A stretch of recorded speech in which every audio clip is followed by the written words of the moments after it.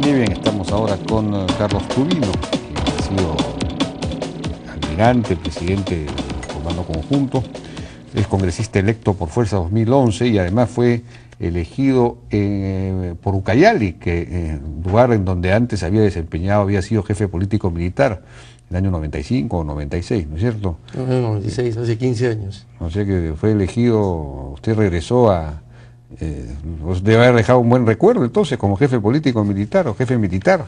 Sí, bueno, este, la verdad que a mí se me partió el corazón ver, pobreza en medio de riqueza y yo le prometí al pueblo cayalino que cuando concluyera mi carrera naval volver a, esta región Ucayali, que la verdad que, le tengo un cariño muy especial y ahora he tenido la benevolencia del pueblo ucayalino que me ha dado eh, esta elección como su representante y bueno, realmente un capítulo bonito del proceso de pacificación. Bueno, ah, vamos a hablar del tema de la pacificación, pero sobre todo en el tema de la lucha contra el narcoterrorismo. Pero antes de eso, quería tocar el tema de eh, estas, a propósito de las, eh, una de las tantas re- reuniones que ha tenido Alexis Humala en, en Rusia con la empresa, eh, una empresa vendedora de armamento ruso. Aparentemente también ha tenido reuniones con una empresa ucraniana, competidora de esta. En fin, eh, hay una dependencia eh, que viene desde la época de Velasco del armamento ruso. ¿Cuál es, eh, de alguna manera estamos encadenados a eso porque e- esa es la línea que hemos seguido? ¿Cuál es su opinión sobre eso? Sí, mira, con relación a este tema, es un tema que hay que analizarlo bien, no solamente los aspectos tácticos, sobre todo cuando hablamos de armamento de primera línea o el armamento mayor de las instituciones armadas. En el caso de la Marina, de buques de primera línea, submarinos, eh, aviones de combate en la Fuerza Aérea o tanques. Acá eh, Alexis Humala estuvo hablando de tanques. Este es un tema serio, un tema que hay que analizarlo no solamente en el aspecto táctico, sino en el aspecto estratégico. Es decir, por ejemplo, en nuestro entorno hay países que se han preocupado de adquirir armamento OTAN hace 20 años. Son países equivalentes a OTAN.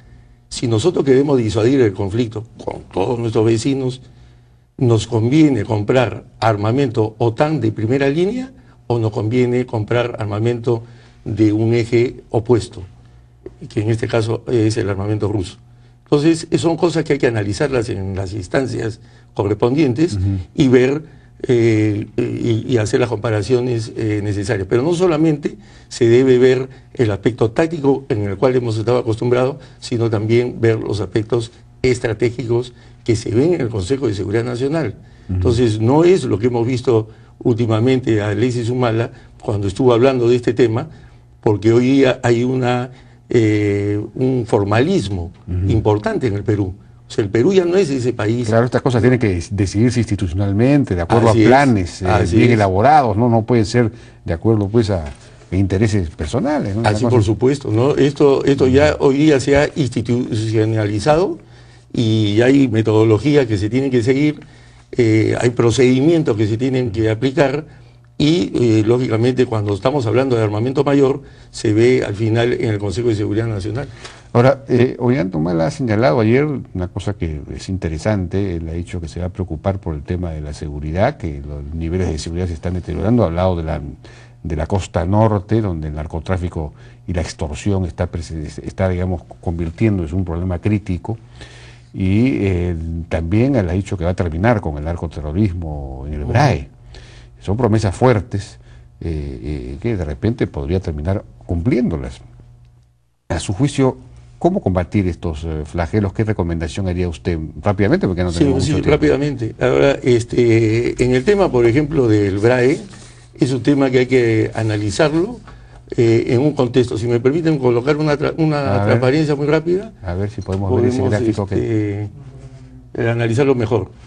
Pero si no, la, la Ahí puedo está, ahí explicar. ahí está. Bueno, muy bien. Acá tenemos un vehículo. Y aquí lo Ese tiene. vehículo es el vehículo que podríamos llamarlo de la pacificación. Son eh, cuatro tipos de operaciones que tenemos que hacer para lograr la pacificación en el BRAI y avanzar en este proceso de pacificación. Operaciones puntuales, operaciones de control territorial, operaciones contra el narcotráfico y operaciones humanitarias. Eh, con esta simbología lo que quiero hacer es decir lo siguiente. Estas cuatro tipos de operaciones se tienen que hacer eh, y llevar a cabo con la misma presión, igual como si estuviéramos inflando una llanta en este vehículo. Para que el vehículo camine, las cuatro llantas tienen que estar infladas como corresponde. Entonces, las operaciones puntuales, que son operaciones militares que hemos venido realizando últimamente, esta llanta la hemos estado inflando. Hoy día hemos mejorado eh, nuestro equipamiento y, lógicamente, estas operaciones eh, de inteligencia, etcétera, vienen mejorando. Las operaciones de control territorial eh, son las 28 bases contraterroristas que tenemos en la zona.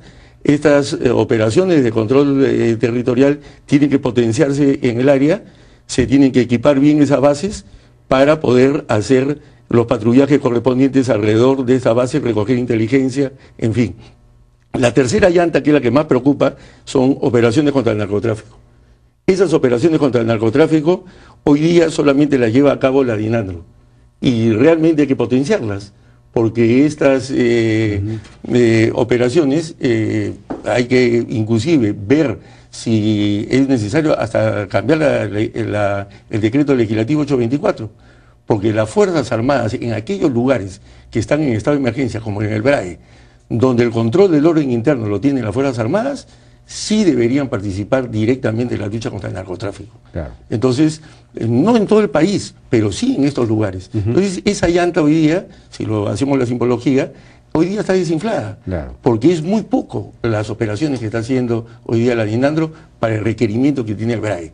Y por otro lado, la cuarta llanta que estábamos viendo son operaciones humanitarias que también tienen que realizar las Fuerzas Armadas y la Policía Nacional. ¿Qué se refiere como operaciones humanitarias? Son operaciones de apoyo a la salud, eh, hacer pequeñas obras de infraestructura, mm. etcétera, con las unidades de ingenieros, en fin, que la población sienta a las fuerzas del orden que están al lado de ellos. Entonces, eh, este tipo de simbología con estos cuatro tipos de operaciones son muy importantes porque nos van a permitir avanzar en el proceso de pacificación. El tema del narcotráfico es fundamental en el BRAE y no podemos continuar como hemos venido operando en la actualidad. Hoy día, cuando un oficial de las Fuerzas Armadas que está estacionado en una base ve o se entera que va a haber un pase de narcotráfico, él no puede hacer una operación al día siguiente y, hacer eh, la detención correspondiente. Debe comunicar a la policía para que la policía actúe. La policía muchas veces no tiene los medios para hacerlo.